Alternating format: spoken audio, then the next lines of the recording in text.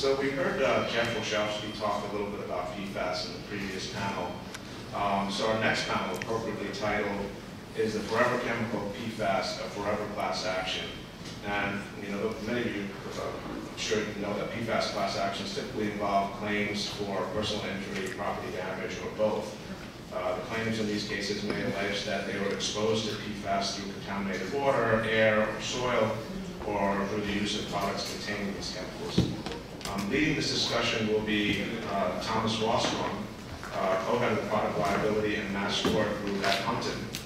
Uh, he'll be joined by two of his colleagues, uh, Jack Bisceglia and Brian Ledger, and also um,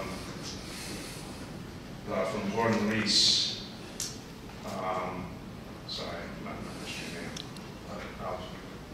Paul, Paul, Paul Nyffeler from Hunton, and then Brian is with Gordon Fix. uh, Brian was going to be Gordon Rees. Sorry about that. Okay, so take it away, Joe.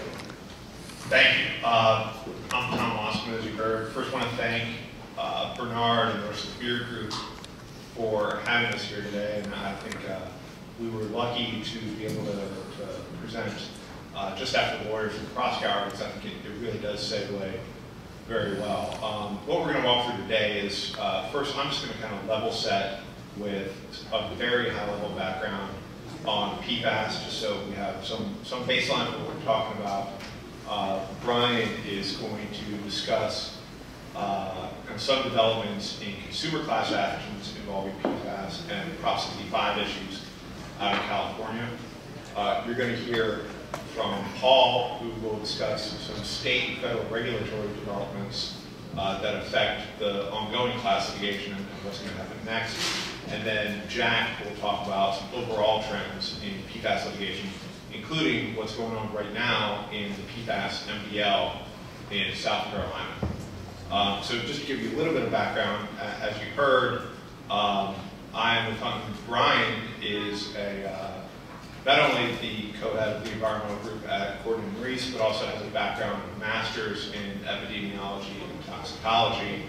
Uh, Paul also is a scientist, Paul has a PhD in chemistry and, and has researched uh, these chemicals. And Jack Bisceglia, an associate in, in Richmond, Virginia with Hunton, and, and Jack's been deeply involved in some of the class actions about PFAS pending in uh, Georgia, Alabama, and elsewhere.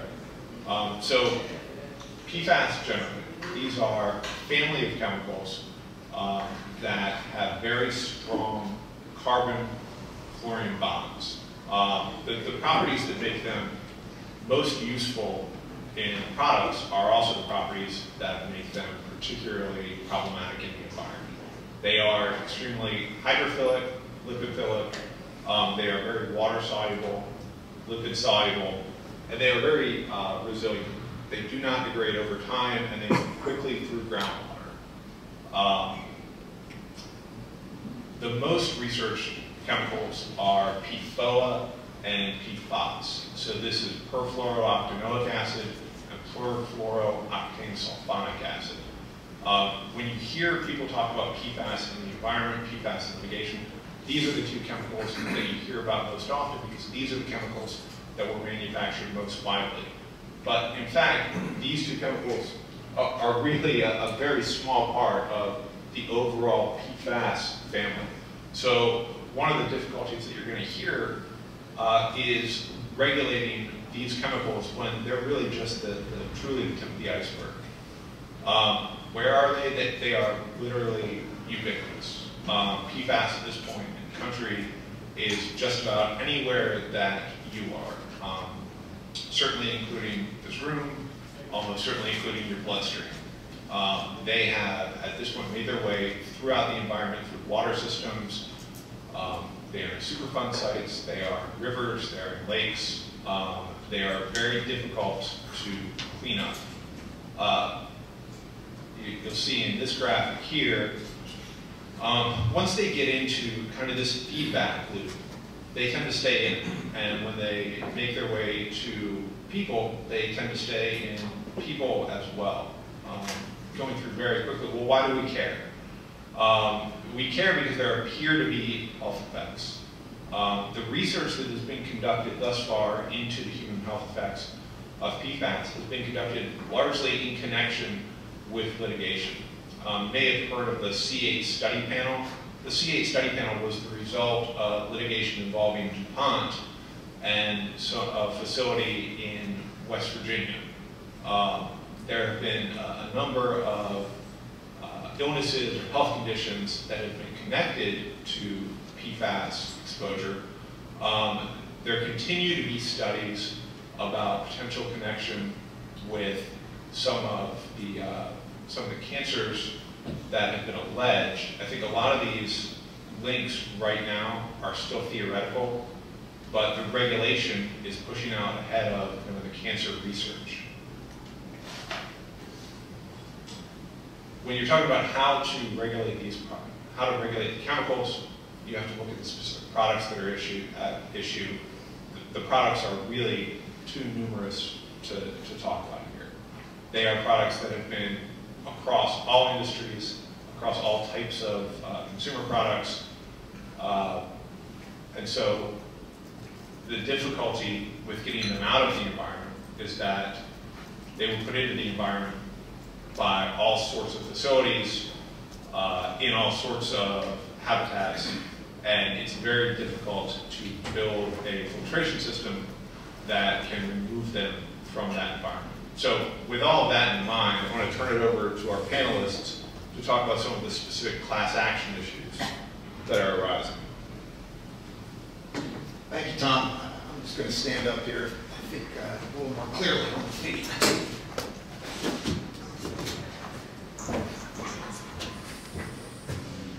Thank you all for uh, coming out this morning.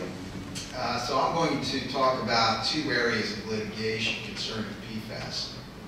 Uh, secondly, I'm going to talk about class action cases focused on consumer products that contain PFAS. Uh, first, I'm going to uh, cover a, uh, it's a California-specific law called Proposition 65. And uh, it's it's very, I think it's appropriate for discussion today. It's very akin to a class action. Any person in the state of California can sue on behalf of all of the people of the state of California. And uh, litigation is incredibly robust under this statute. Uh, there's literally over 3,000 uh, Proposition 65 notices go out to businesses uh, uh, each year. So it's a really intense area of litigation. So this was a, a law that was a voter initiative. Approved by voters back in 1986 and it's gained uh, more and more steam since then. It was uh, drafted originally by uh, an attorney from the Environmental Defense Fund and it uh, has two primary objectives. Uh, one is, and, and really the, the, the, largest one, uh, is to inform people before the public, before they're exposed to uh, carcinogens or reproductive toxins. And, uh, and then secondly, to prohibit discharges of these chemicals to uh, sources of drinking water. Um, now, not all chemicals fall under Prop 65. A chemical has to be listed by the state of California that either cause cancer or be a reproductive toxin. There's a lot of dispute in the state of California as to the burden or the burden of proof that's needed to, for the state to identify uh, a chemical uh, on the list. And there's about 900 chemicals on the list, so it's a pretty broad uh, spectrum, but it's not all chemicals. And, and the point of it really is that the general public should receive reasonable and clear warnings before they're exposed to uh, listed chemicals. So who does it apply to? Well, any, any business uh, doing business in the state of California or selling products, it's got more than 10 employees, uh, is subject to it. And uh, I've often seen companies that have no employees in California. That doesn't matter. If the company's located in another state that sells products in California, is going to be uh, fall within the scope of this law. And uh, now the exposures under Prop 65 that activate liability they uh, they're not alleged to have caused, or do, nor do they have to cause for liability, any harm to anyone. It's just the fact that an exposure occurred, no matter how small the exposure is, and there was no warning beforehand. None of these cases is anybody alleging that they've actually suffered personal injuries. The types of exposures are uh, consumer product exposures, occupational exposures, environmental exposures, but really the focus is the consumer products. Uh, There's no question over 99% of these cases involve uh, the, the consumer products. So who enforces Proposition 65? Well, both the public prosecutors and the private prosecutors. And how the case starts out is a 60-day notice goes out, and the public prosecutors have that, that amount of time to file suit. If they do, then the private prosecutors can't uh, do anything. But uh, virtually, the public prosecutors hardly ever uh, actually pursue these, so it's, uh, here it's over 99% of these are filed by private prosecutors. And again, this can be anybody, uh, any member of the public. And the law has what's called a bounty hunter provision, which provides uh, uh, an incentive for private prosecutors. And it unfortunately has spawned uh, a whole cottage industry of plaintiff attorneys uh, in California that focus just on these Prop 65 cases. Uh, Most of them lead to settlements. Uh, Virtually every settlement, over 95% of that is going to the attorneys for attorney's fees and the investigation fees. So what are the potential penalties uh, if liability is found? Well, the statute is pretty vague, and it basically says up to $2,500 per exposure per day. And to give you an idea how the plaintiff's bar works this, is they will say if a company sells a particular product that's in violation, let's say it's 10,000 units in a year, the plaintiff's bar would say, well, that's 10,000 violations right there. Also, every time somebody would use this product the course of a year, that's another exposure and another violation. So if your average consumer would use the product, say 10 times a year, you add another zero to this list. But for just 10,000 violations, you know, that's up to $25 million. Now, this, if, when these cases go to trial, it's bench trials. It's a judge decides these cases, thank God, have juries. The judiciary out in California is well aware of this whole bounty hunter provision and the plaintiffs, uh, enterprising plaintiffs attorneys. So they generally, they, don't go crazy in awarding penalties. But the uh, prospect of enormous penalties uh, is always used by the plaintiffs to drive settlements uh, as high as uh, they can get them. So what's significant for PFAS in Prop 65 is the chemicals are being added to the uh, listed chemicals uh, in California. And it started in 2017. The PFOA, which my colleague Tom, you heard discuss PFOA and PFOS, they were added as reproductive toxins in 2017. 2021, uh, PFOS was, was expanded to be a carcinogen, and uh, and then a new one uh, was added, PFNA, and uh, its salts, it was added as a reproductive toxin, and it's continued in 2022 and 2021, I'm sorry, 2023, um, where they're considering even more of the PFAS chemicals to be added to the list. And you know, the way things are going, as more and more scientific data comes out, it may be that many more of these will be added uh, going forward. The types of products, um, you know, as Tom had indicated that, you know, this, this quality of being uh, moisture resistant, that's common in a lot of these products. You see, you know, outerwear is a, a big target. Uh, the baby beds and crib mattresses, you know, because they're water resistant. And then there's a whole, a whole bunch of, uh, you know, uh, very uh, common consumer products. Shower liners, you know, for the same purpose, and it, and it goes on and on. And there's uh, a whole world of products that have not yet been tagged by the plaintiff's bar, but I would expect probably. So how does a company avoid this Proposition 65 liability, whether it's for PFAS or, you know, any other listed chemical? Well, first, uh, I think having a compliance policy. I, uh, it happens all the time that I get clients who, uh, and it tends to be smaller companies from out of state who are either not aware of Prop 65 or you just don't have a compliance policy. For litigation, that is terrible if the plaintiff finds out that they don't even have a policy, uh, which means they didn't, obviously didn't make an effort to comply with the law. Um, It's important for a company to try to determine, do they have chemicals that- or products that may have these chemicals that are suspect? You know, if you're selling products with this moisture-resistant quality, uh, that's, that's certainly a red flag. Communication with supply chain partners. For manufacturers, it's very important to determine, you know, does your, the products that you're manufacturing that get distributed to other countries contain these chemicals or any of the Prop 65 chemicals? Because, uh, you know, the liability is highest at the top of the chain and responsibility is highest at the top of the chain to inform the uh, companies downstream. And when manufacturers do inform their distributors, um, there's a, a large degree of protection from liability if they properly inform them and give them the warning information, but the distributor doesn't actually provide warnings. Conversely, for the uh, downstream companies, they should request that the manufacturers provide this information, let them know if there's any compliance issues. And, uh, and in that regard, some of them, uh, as I think a very good practice, uh, request uh, an agreement that if the product's not found to be in compliance with the law, that the manufacturer will agree to indemnify or hold harmless uh, the company from any liability if an action is filed.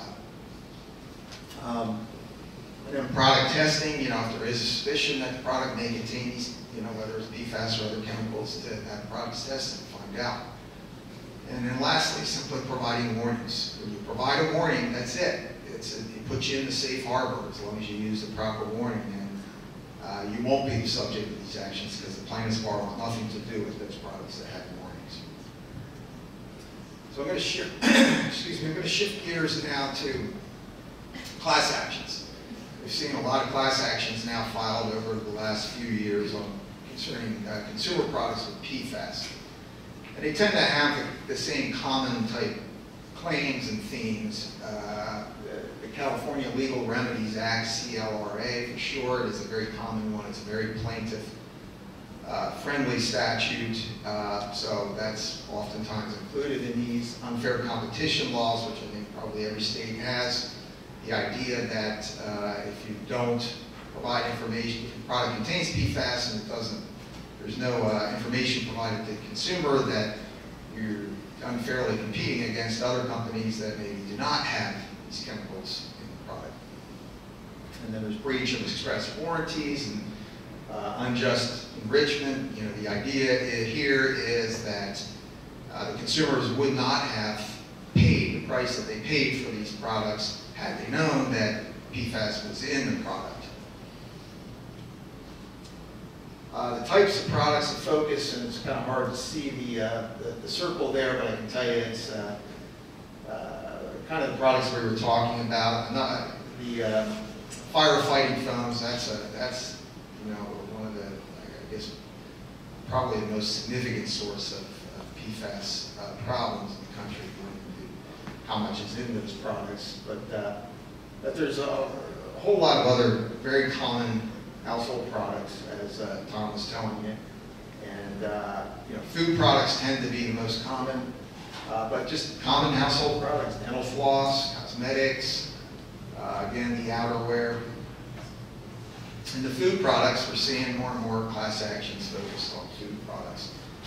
And uh, especially those that are marketed as being natural or healthy And uh, recently, there's been, uh, I saw Irish butter was a, a target, pomegranate juice. Uh, they like to focus on, especially on those products that consumers generally think of as being healthy. And, uh, so this, all indications are that uh, this area of litigation is going to continue. And, you know, we see it with other chemicals too. You, you may have seen it in the news with uh, benzene and consumer products. There's been a lot of cases uh, in the last two years for class actions for that. And, uh, you know, the unfortunate thing is for businesses, these cases tend to be fodder for the press. Plaintiffs' bars are well aware of that. They try to use that to uh, leverage settlements before the case gets filed. You know, companies are fearful of them being uh, put in the press after the case is filed. So uh, that's all I have. I will now pass it to, uh, to Paul. Uh, Thank you. Yeah. Brian, one thing I- I'd like to add is when you talk about uh, pre-litigation demands, a lot of the statutes that these claims are ultimately filed under do provide some amount of pre-suit notice, like the CLRA, I know Massachusetts General Law 93A and some others have a requirement that if you're going to sue for damages, you have to provide a 30-day window to remedy. And I, I- I think that, you know, we've talked about some of the individual settlements that you can infer from early dismissals of prejudice. I, I think there are probably a lot of cases that you never see at all filed uh, because defendants have resolved on an individual basis beforehand. So we, you know, when you're looking at the, the civil dockets, you're really not getting the whole picture of plaintiff's bar activity. No, a- absolutely, and, you know, the same thing happens in Proposition 65. For every case that gets filed, there's probably at least 10 that get settled. All right. Well, um, yeah, we're going to move on to sort of the the growing trend for state and federal re- regulation for PFAS. Um, We're going to start with sort of the state approach. The states have been leading this in general. Um, States have not taken a uniform approach in the way they're regulating these things, um, but they do kind of fall into sort of, sort of two general categories. The first is, is sort of the warning label requirements, Uh, very much like the Prop 65 we were talking about before, making sure that there's a proper warning. But we're now also seeing uh, new uh, state laws that are banning uh, PFAS being intentionally added to uh, all classes of consumer products. Most common being food packaging, children's toys, cosmetics. Um, you know, with the food packaging, the idea is that you, know, you get your greasy hamburger from the fast food restaurant. Um, it's, it, at least in the past, it's been PFAS that's kind of helped it not fall apart. Uh, pizza boxes, that kind of thing. And so um, the states are now taking the lead, and, and some states are in banning these things. And the leading edge, and really the most extreme, is Maine, who's banned um, the sale of products containing PFAS of any kind by the year 2030. And even starting this year in 2023, anyone selling products within the state is required to identify and, and quantify each PFAS that's been intentionally added to any product that's being sold. Um, this has caused a lot of problems for lots of companies because, as, as we're going to talk about, it's really difficult to know if your product has PFAS in them. So, in general, within the supply chain, uh, at each step, a lot of, of the suppliers of the materials don't know that they have PFAS in their materials. A lot of them don't understand exactly what PFAS is. Uh, sometimes it's, you know, it's referred to C8. Um, I, I saw one instance where some, one person was asked and they said, well, you know, we don't have any C8, you know, we don't have PFAS, we only have C6. Well, C6 is the replacement for, for C8. So, um, so this is the kind of thing a lot of times people don't know. Um, and then on top of that, because of these different patchworks of, of state laws, um, products end up uh, not violating one state, but they will if they're sold in another state. And so it's a real struggle once materials are enter the stream of commerce to ensure that uh, something doesn't end up in a state where it shouldn't be. And, and ultimately, we think because of these sort of patchwork laws, um, this is, there's going to be sort of a, some low-hanging fruit for class actions. Um, specifically, for example, a company that fails to keep up with the regulatory changes in, in any given state, uh, insufficient labels and warnings, uh, inadequate testing to determine whether PFAS is present, um, failing to, to let the state know or failing to certify the contents. And then again, ultimately, the shipping it to the wrong state. And, and I do know there are some retailers, national retailers, who are taking the position that if it turns out that particular product is going not able to be sold in a given state, uh, because it's so difficult to keep it out and control the supply chain, in some instances, they're just going to stop selling that altogether. Now, recently the federal government has gotten involved uh, and started uh, implementing or proposing regulations involving PFAS, but in a slightly different way, the federal government has been focusing on the, the science behind uh, the alleged public uh, health and environmental risks, and this is something that uh, as the science has done more and more science, uh, there's a lot of push towards trying to define what exactly the, the threat that is being posed. And a good example is the drinking water limits that have been proposed for PFOA and PFOS. Um, ultimately, the EPA and its uh, Science Advisory Board concluded that uh, these two chemicals are probable carcinogens, And because of that, then in drinking water, the goal uh, will then be set to zero. Uh, But because it's really hard to remove these materials, uh, the feasible limit so far is being set at four parts per trillion. And um, it's a really small amount. It's, it's very difficult to sort of conceptualize exactly how small this, this is. There's a lot of examples that get thrown around. Um, one example might be if the average American's lifespan is 75 years. Um, I'd say it's a blink of an eye, but it's actually not. It's about one, it's one thirtieth of a blink of an eye in the, in the total time frame. You know, one drop in a Olympic-sized swimming pool. Um, there's all these different kinds of, of ways to do it. We, we have a hard time sort of understanding just how small that, that really is.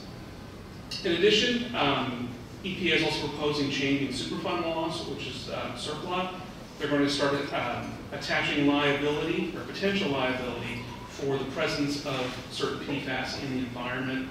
Um, there's also movements within the EPA under TSCA to ban the importation, manufacturing, and use, uh, not just of PFOA and PFOS, but also in general, all PFAS uh, used in commercial products. They're really trying to work that out. And it won't be long, um, they're moving towards uh, limits on waste discharges, so that's uh, wastewater and the Clean Water Act uh, under uh, RCRA for, for disposing of solid wastes. So we're going to see, uh, it's going to be more and more uh, regulation, more requirements to remove these things to make sure that they don't continue adding out into the environment. So I want to talk then about sort of like the short-term impacts and long-term trends, especially in terms of costs and class actions. So first of all, uh, this drive to remove PFAS from consumer products and, and the environment is going to cost, costs. Right now, there are not a lot of acceptable uh, replacement options for PFAS. So there's going to require expenditures to research new materials to replace them. That's going to drive up the costs. Um, also, just removing PFAS in general is going to be more costly. That's in part disposing of, of products that you can't sell because they contain PFAS. And also, there's the filtration and removal of PFAS from you know, water and, and, and waste and everything else we talked about in terms of the environment that's already there. Um, and because of this, we think that we're going to start, at least initially, uh, there's a chance we're going to see some scarcity in some consumer goods. Like I said, some, some, some products will not be sold in certain states and then retailers won't sell them. Or, or in Maine, for example, you might find a situation where there's just not a lot of stuff being sold because people can't certify that they actually meet the requirements for, for PFAS. We also think, though, that over time, uh, people are, I mean, it's already happening that people are becoming more and more savvy about the presence of PFAS in, in products. And because of these regulatory changes, uh, we expect that, that although there will be an uptick in, in lawsuits because of the presence of PFAS, on the other hand, there will be a, a slow march of PFAS out of, the, out of the supply chain, which will make it uh, harder and harder, and fewer and fewer lawsuits about uh, PFAS content, PFAS violation of the laws discussed.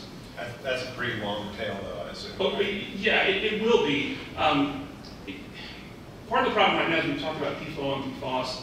These are sort of like the, the big ticket things, and they've been around for decades and decades. But you know, we have replacements like GenX, um, and now we have replacements for replacements, and um, because there's just like thousands and thousands of these compounds, um, when, when one thing gets regulated, then something replaces it, and it, it's very difficult to figure out where all these things are and know exactly what you have, especially in the low quantities we're talking about. So, uh, in addition to the long-term tail of the lawsuits, uh, an even longer challenge is going to be simply removing the PFAS that's already out there. So in the environment, um, landfills and everything else, and try to sort of contain it and, and try to figure out what to do with it. Who to pay for it? It- It's exactly right. Um, uh, just up here, just, I'm not, I'm not going through all this, just to give you a flavor, these are some of the state bans that been proposed. Um, like I said, food packaging happens a lot, um, but different states are taking different approaches. You see timeframes, you know, 2023, 2024, we have Maine 2030, all products. Um, but different states, it's sort of a marching uh, set of deadlines for moving PFAS from products. I mean, it's not every state, obviously, um, but you are seeing a, a general trend that's moving forward. There's also a push on the federal level for, um, you know, in, in, Congress to establish sort of limits as well, limits on Department of Defense purchases, um, you know, lots of different things moving forward there. Right, with that, that's it, Jay. Uh, I'd like to talk about a few trends in PFAS litigation. Um, rather than talk about the large swath of cases across the, country, I want to focus on, on two particular cases, but before we get to that, um, kind of general categories of litigation. Um, Brian and Paul touched on uh, the consumer products litigation. Um, we're also seeing med medical monitoring class actions. So these are uh, actions where plaintiffs are either alleging personal injury or um, alleging simply exposure or presence of um, the presence of, of PFAS in, in their body or in their bloodstream um, that leads to an increased risk of, of disease or illness. Um, so again, the, the specific injury need not be alleged for these types of claims. Um, and then broadly speaking, we're seeing environmental litigation. So these are um, claims that are generally revolve around the contamination of uh, drinking water, either private or public drinking water sources, uh, typically from um, industrial uh, contamination or uh, from contamination from other sources, um, like firefighting foam. Um, so those claims have been brought by individual residents of communities from private and public water utilities, um, and also by state, uh, states and municipalities. Um, against PFAS manufacturers, there have been brought against uh, manufacturers of products that incorporate PFAS, um, intermediate products, um, and, and, and, different locations of uh, property owners where, where there has been. Um, so the, the claims are alleging personal injury, medical monitoring, uh, property damage, environmental remediation, and cleanup on common law theories of negligence, uh, public nuisance, product defect, um, but also um, in the case of, of government entities, uh, natural resources statutes. Um, so between you know, medical monitoring and environmental litigation, the, the most notable um, early case of this was the C8 litigation that, that Tom mentioned. That established a, a science panel that uh, concluded that there was a probable link between uh, PFAS exposure and uh, six different different health conditions. Um, so the the health conditions that, that that panel established have have shaped uh, class action litigation moving, moving beyond that 2005 uh, settlement. Um, a subset of environmental litigation is this AFFF litigation. That's, that's aqueous uh, film-forming foam. It's a, a firefighting foam. Um, and we'll talk about uh, the multi-district litigation related to, to those claims in a moment. Uh, but first, let's uh, touch on the Hardwick class action. So this is a medical monitoring class action. It, it was originally filed in 2018 um, against PFAS manufacturers as part of the uh, C, C8 MDL in the Southern District of Ohio. Plaintiff is not alleging uh, any particular disease or, or physical injury, rather um, he is a, veteran firefighter um, who alleges that over the, the course of his 40-year career um, was exposed to PFAS primarily through uh, firefighting foam. Um, he's seeking to represent a nationwide class of individuals with um, detectable levels of PFAS in their bodies. Um, and now given that um, some experts estimate that 95% of the United States pop population has detectable levels of PFAS in, in their bloodstream, um, he's not only seeking to represent a nationwide class, but he's essentially, uh, it, it's a nationwide class in the most literal sense of the term. So almost everyone in the United States. Um, so a very, a very broad-ranging uh, class action. Uh, he is not seeking uh, specific monetary damages, rather he's seeking medical monitoring and the establishment of a, of a science panel. Um, and uh, so just, just seeking equitable relief here. Um, in March of last year, the Southern District of, of Ohio um, actually certified a class uh, on a more limited basis than the plaintiff was seeking. Um, it was individuals subject to the laws of Ohio, that's the language that was used, um, and uh, that have uh, 0.05 uh, parts per trillion um, of PFOA um, and uh, 0.05 parts per trillion of any other PFAS in, in, their, in their bloodstream. Um, so the subject of the laws of Ohio was, was sort of the limiting factor on that class certification, though the, the judge uh, invited briefing on a broader scope of the class certification, uh, potentially to uh, citizens of states states that uh, acknowledge a medical monitoring claim. So that's not every state. Um, but it's a, it's a broad swath of states. Um, and, and given the language of the order, that could even be expanded potentially nationwide, you know, even to, um, even to, to states that don't acknowledge, uh, medical monitoring, organized medical monitoring as a claim. Now, that um, order is uh, on appeal to the Sixth Circuit. Um, The Sixth Circuit did grant interlocutory review of the class certification decision, um, and it has not reached a decision on, on the review, but I'll I'll read you uh, an excerpt from the order granting the the review, uh, which certainly expressed some skepticism of the district court's order. Um, They said, "We hold merely that when a district court certifies one of the largest class actions in history, predicated on a questionable theory of standing and a refusal to apply a cohesion requirement endorsed by seven courts of appeals to authorize pursuit of an ill-defined remedy that sits uneasily with traditional constraints on the equity power and threatens massive liability, such a decision warrants further review. Um, So uh, skepticism, to say the least, um, we expect to see at least some limitation on that arose out of Hardwick. Um, uh, But again, this is uh, such a a- a broad uh, sweeping class action, and again, one that does not allege actually any particular particular uh, injury, but rather merely exposure. um, It it- will certainly be one to watch. Um, Next, I want to talk about uh, AFFF. So uh, this is a- aqueous film forming foam. This is a firefighting suppressant um, that is used to fight liquid, uh, flammable liquid fires. So these are Class B liquid fuel fires from jet fuel, uh, petroleum, gasoline. It was first developed um, as in a, in a partnership between 3M and the Navy in the 60s. Um, and it contains a foaming agent and then a PFAS-based fluorosurfactant, which is uh, basically what makes the foam effective. So it works by both cooling and suppressing the fire. The foam sits on top of, of the liquid fire um, and cools it and, and uh, suppresses the fire, and it also creates a barrier that stops the fire uh, from, from spreading. Um, so military bases are, are common um, sites, uh, manufacturing facilities, airports, uh, oil refineries, oil tankers, offshore platforms. Um, and so in addition to those facilities, you're also seeing uh, local fire departments testing uh, the use of the foam. Um, so public and private water supplies near uh, these various facilities um, have seen PFAS contamination of their water that they attribute to uh, the foam leaching into the, the nearby soil. Experts have, have suggested that AFFF is the, the single largest contributor to PFAS water contamination in. So um, this has given rise to uh, numerous lawsuits um, in jurisdictions across the United States.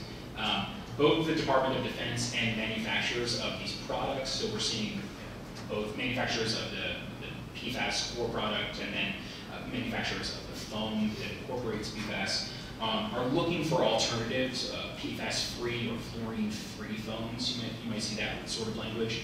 Um, they're uh, looking into research and development of these products. As of yet, they have yet to find something that is um, as effective as AFFF in fighting these potentially catastrophic fires, or that meet some of the requirements. Um, for instance, uh, uh, the FAA has specific rules related to airports for, for suppressing these sorts of fires, um, and we have not seen a product yet that complies with, with those regulations.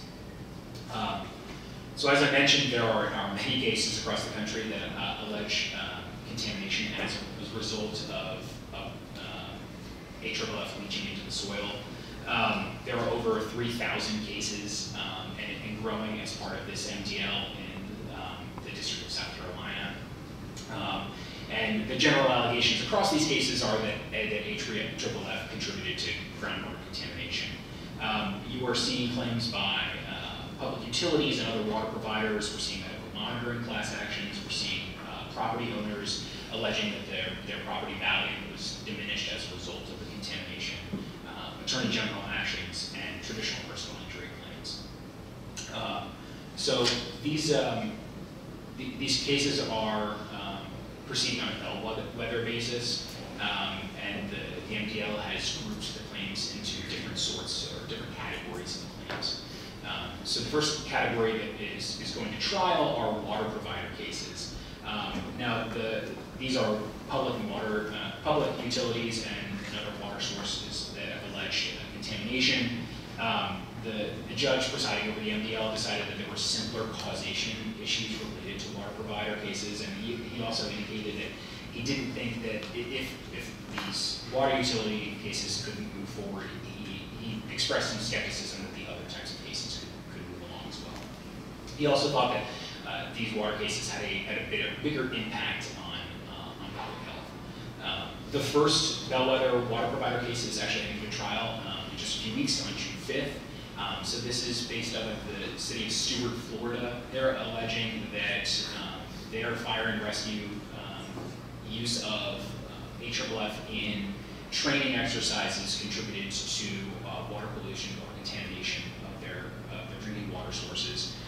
They're alleging that they had to switch to a, a different source of water, and that they also will need to uh, create a uh, water filtration system that is capable of filtering out PFAS.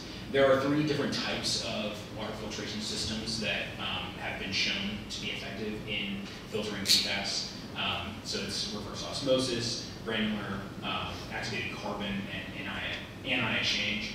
Um, these are all expensive um, facilities, um, so municipalities are, are looking to recover the costs of creating these uh, these new filtration systems from uh, manufacturers of PFAS and manufacturers in, in this situation of, of uh, the foams themselves. Um, so this is not a class action, but it certainly will be a case to watch going forward, given the, the issues that the court is, is looking into. Um, a evidentiary issues uh, tracking the contamination in the, in the city or in the, in the public water source to specific manufacturers of different types of, of PFAS, um, novel issues of uh, uh, defense contractor uh, immunity, um, and, and, and various other uh, scientific analysis related to the tracing of, of different sources of PFAS. Uh, the next level of bellwether cases, and we don't expect to see this for, for some time, but they, their parties are beginning discovery soon, are these leach claim bellwether cases. So leach claim comes from the, um, the C8 MDL panel that, again, Tom mentioned. Uh, so these are the, the uh, health conditions that the science panel in that litigation found had probable links to PFAS exposure. Um, so these cases in, in the AFFF MDL are going to be to, some of the, these leach injuries. So kidney cancer, testicular cancer, ulcer, ulcerative colitis, uh, thyroid disease. Uh, they may discuss uh, pregnancy-induced hypertension.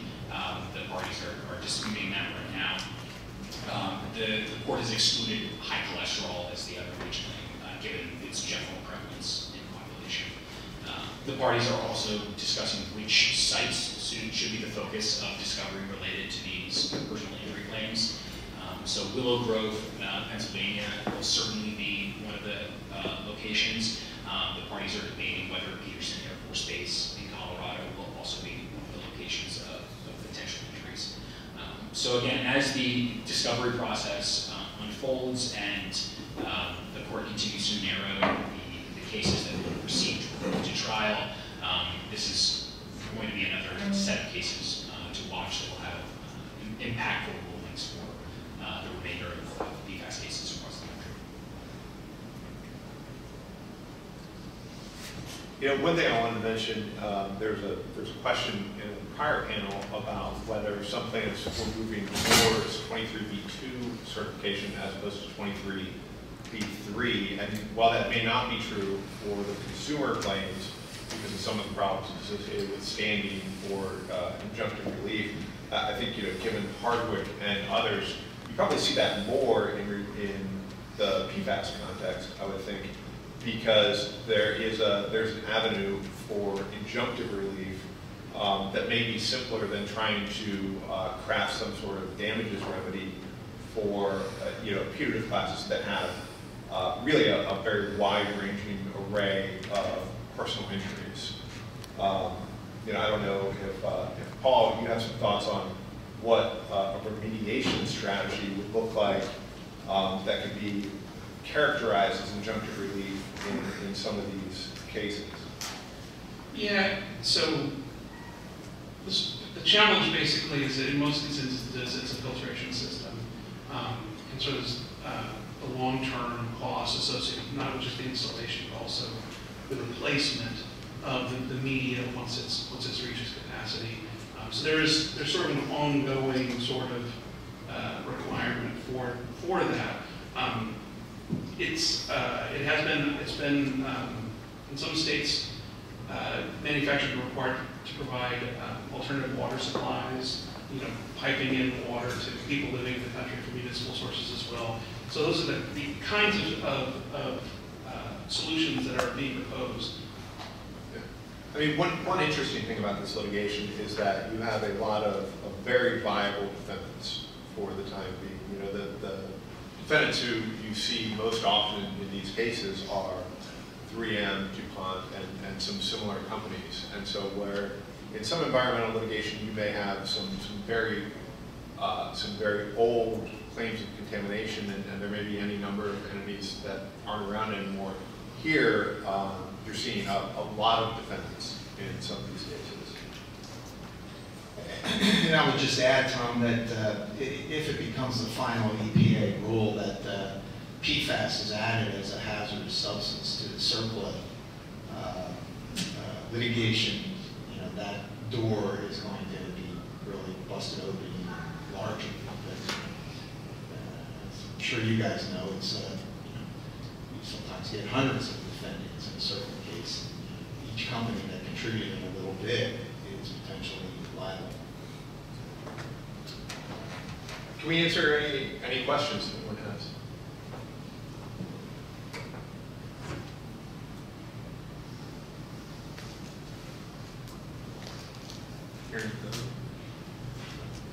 Wrap up? But thank you all very much for your time today. Really appreciate the opportunity to talk with y'all. Thank you.